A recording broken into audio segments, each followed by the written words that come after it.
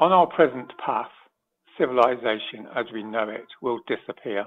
If we meet current commitments only, net zero by 2050, perhaps some form of humanity will survive, managing the challenges of continuing extreme weather events, ice loss, and sea level and temperature rises.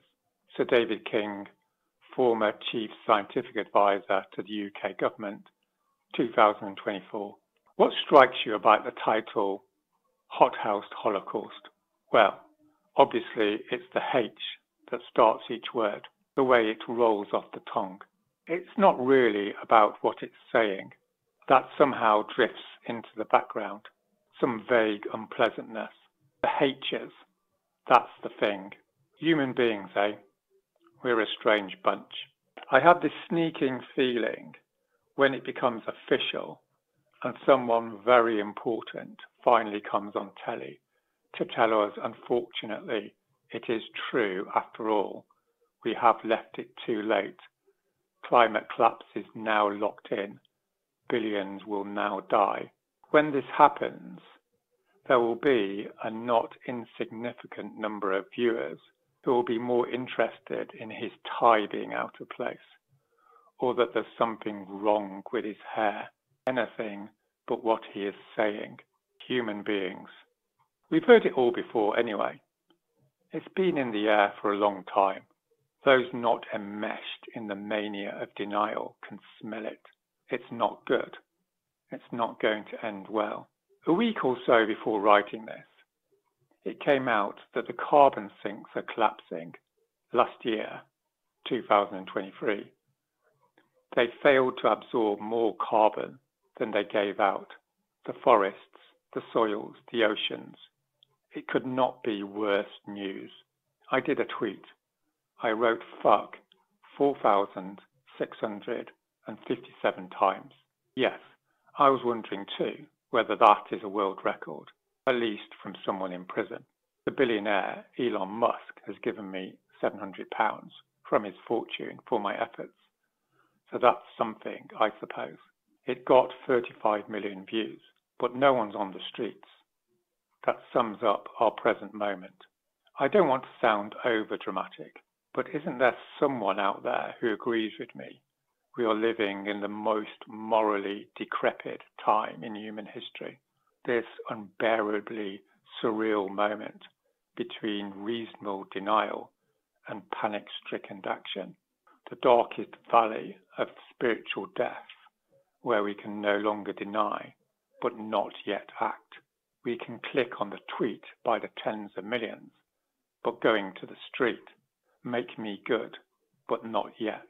Each day is just a waiting, waiting for that one in a million chance climate event that is now going to happen once a decade for the next 100,000 years, which finally breaks through, that kills tens of millions of black people or a few hundred thousand white people.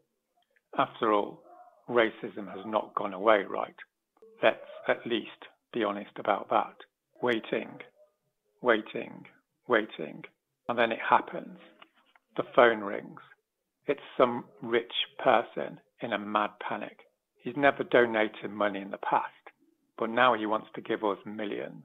Each day of waiting for that phone call means more uncountable, unique lives are condemned to slow, agonizing starvation. I play with variations on the most human of reasonable responses. You fucking idiot. You should have given it us 10 years ago. Now it's too fucking late. I'm reading Georges Bataille at the moment, the forgotten French thinker, who in the cauldron of hell that was the period of the First and Second World Wars, believed the only consolation was the real. Idealism was a fraud, cynicism worse. Early on, he realized the most important human attribute is laughter in response to our thrownness into this life, as Heidegger put it. Bataille would not have been published by The Guardian for reasons not unlike why they won't publish me. I got one or two pieces in at the beginning of the Extinction Rebellion period, but as soon as I got real, well, that was the end of that. What's the phrase? Knowing the price of everything, but the value of nothing. The Guardian does the facts about the climate crisis, but none of the meaning, because the facts apparently are sacred, and so the meaning must be profane, which is why they say liberalism is not able to stop fascism. I'm writing this just before Trump wins the election. Harris gives the facts, Trump gives meaning, and any social observer who is interested in the real, the really real, knows which one wins out. Evil is dull. I suggest we follow St. Augustine on this. After all, he thought about it a lot and accepts that evil is simply the distortion of the good, a lack of the good. In which case, what we face is a total wipeout of the good. But evil, even in its absoluteness, is still dull. There are always the bad guys. No. What makes the blood really boil? What makes you stride around the room in an uncontrollable rage is hypocrisy, and even worse, betrayal. That great liberal lie that I am good, I am upright, I act upon the facts. It is simply not true. You believe in the facts as a substitute for believing in anything else. Because to believe in what the facts mean would force you to have to start to live. You would have to move out of the comfort zone of your economic privilege, your secular nihilism. What matters now is life itself, not preserving life. That is in the hands of powers beyond our understanding. No, what I mean is the decision to live a life now, rather than sitting there, clicking, stewing, waiting. What will save us is even when enough people start to live their life, the life they have been given, that one chance in X trillion that each of us is, who think it's a little ungrateful not to take up the offer. Personally, I find myself opting for Neoplatonism. It has a certain mysterious ring to it, don't you think? The realization that love, truth, beauty, they're all one thing, and that one thing is God. We are put onto the stage of life to choose.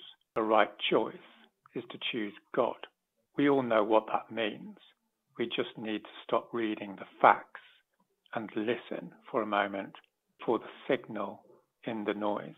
This is the right choice, the choice of love, truth, beauty, my fellow human beings, means to enter into the glory of resistance.